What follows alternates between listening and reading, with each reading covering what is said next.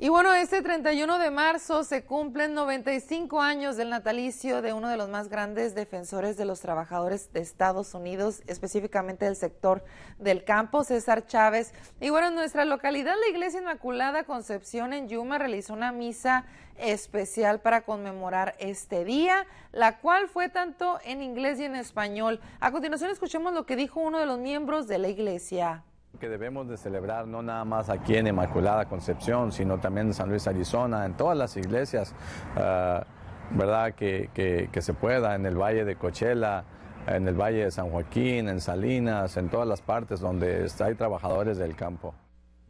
Y el Día de César Chávez se convirtió pues en una festividad nacional, como ya lo sabemos, evidentemente, y bueno, pues hoy sin duda y durante todo el mes estuvo llevando a cabo pues diversas celebraciones y actividades al respecto.